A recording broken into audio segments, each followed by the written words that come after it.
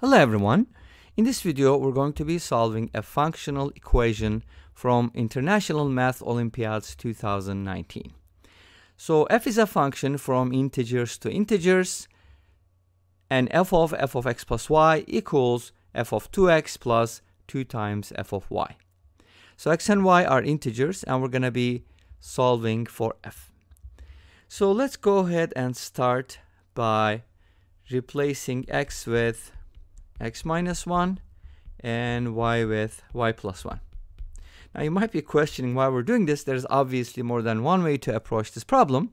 But notice that this type of transformation or substitution will, will keep the left-hand side unchanged. But we'll get something else for the right, right-hand side. That's what is important. So let's go ahead and replace x with x plus 1 and y with y minus 1. I mean the other way around. So when you do this, the sum of x minus 1 and y plus 1, because 1 is going to cancel out, is still going to be x plus y. So we get the same thing on the left-hand side. But on the right-hand side, you have to replace x with this. So it's going to be 2x minus 2. And y will be replaced with y plus 1. Notice that two, when two things are equal to the same thing, then they are equal.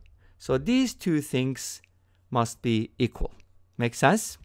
In other words, f of 2x minus 2 plus 2 times f of y plus 1 is equal to f of 2x, which is the original equation, plus 2 times f of y. Great. Now we're going to go ahead and do a little bit of manipulation on this equation because as is, it's kind of complicated. We have two variables x and y, and our goal is to get a special relationship between uh, these sides, but uh, for that we need to replace one of the variables with a number. But before we do that, let's go ahead and arrange this a little bit. Let's put the x's together and the y's together. Now we have the different variables on different sides, so that's good. Let's go ahead and factor out a 2, even though that's not super duper important. Let's still do it. And then we're going to get a 2 on the outside. Now this difference is going to be significant, okay? f of y minus f of y plus 1. So here's what I'm going to do next. I'm going to replace x with 0 on both sides. I mean, there's no x on the right hand side, doesn't matter, but I'm going to replace x with 0. When I do that, the left hand side is going to give me a constant. That's what's important. What happens to the right hand side? Since we're not replacing y with anything, or you can say, hey, y is y, it's going to stay the same. Make sense? That's something that we often do with functional equations. Sometimes we replace x and y both with something, we can even do this, like replace x with y and y with x. You know, sometimes that helps. But in this case, I'm going to leave the y unchanged. Okay?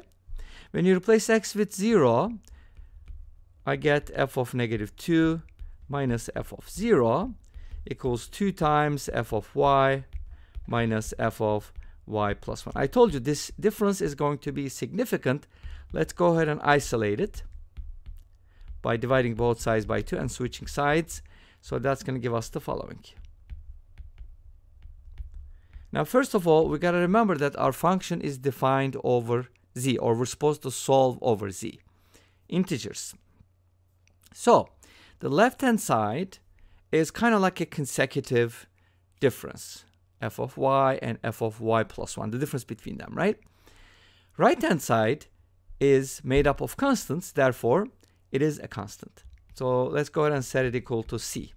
So from here, hopefully you see what I see, you get an interesting equation. f of y minus f of y plus 1 equals c. And you know what that means? If this function is defined over integers, this means that it's a linear function.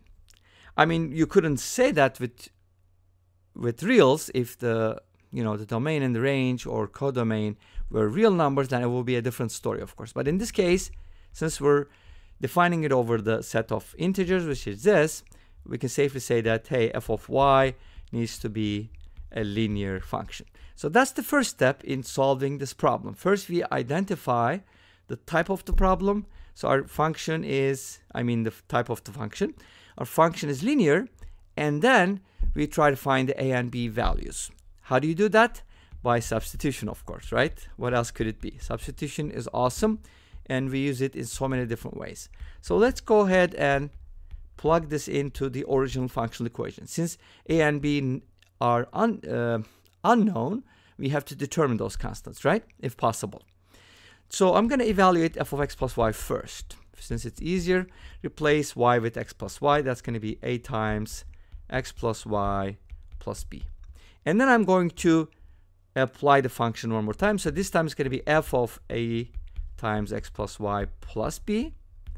And then on the right hand side, that's going to equal f of 2x, which is actually a times 2x, which is 2ax plus b. And f of y, we already know it's ay plus b. Okay, so we got an equation like this, and we're going to apply f one more time here. f is just going to take the input, multiply by a, and add b. It's a linear function, that's how it works. So f is going to take this input, this is my input, multiply by a, the whole thing, and then add b to it. And then if we simplify this a little bit, 2x plus b plus 2ay plus 2b, or not 2b, right? That's the joke I have to make, can't help it. And now we're going to go ahead and distribute. So here what I can do is put these two together because they have a common factor and they contain x and y. And I already have x plus y, so let's not distribute that. Let's just write this as a squared times x plus y plus ab plus b and then this one can be written as 2a times x plus y plus 3b. Awesome. From here, what do we get? We have to compare the coefficients of x plus y and the constants because this is true for all x and y values such that x and y are integers. So a and b must be specific values that satisfy this. In other words, the coefficient of x plus y is a squared here, but that's also 2a. So a squared must equal to a which gives us a 0 or a is 2. And then the constants, ab plus b must equal 3b, which is the constant here. And then from here we get ab equals 2b. And then if you go ahead and put everything on the same side, and then factor out a b, you get two things. Either b is 0 or a is 2. Great. Now let's take a look at the, each case here, starting with a equals 0. So if a is equal to 0, you probably noticed from this equation, all right, b also becomes 0 because if you replace a with 0, you get 2b equals 0, so b equals 0. If a is equal to 2, this always works because notice that a is equal to 2 appears twice in both equations, so the intersection is good. And also, if a is 2, then 2b equals 2b, of course, that's always true. So pretty much this tells you if A is 2, B can be anything. Or it can just be B. Okay, great. So we kind of got like two solutions here. Let's go ahead and write them down in terms of our function. So we said that f of y, and did I say what f of x is? No, not yet, but we'll talk about it in a little bit. I, we said that, okay, our function is linear, and then if a is 0, b is 0. So that means f of y is going to be 0. But this is identically 0 for all values of y. But of course, you can also write this as f of x is 0. Since uh, you can write f of x equals ax plus b from here. Make sense? So that's one of the solutions. And then the other solution is going to be coming from the second one. If a is equal to 2, then f of x becomes 2x plus b. Because remember, b can be anything. b is just an integer, right? Okay, awesome. And this brings us to the end of this video. Thank you for watching. I hope you enjoyed it. Please let me know. Don't forget to comment, like, and subscribe. I'll see you next time with another video. Until then, be safe, take care, and bye-bye.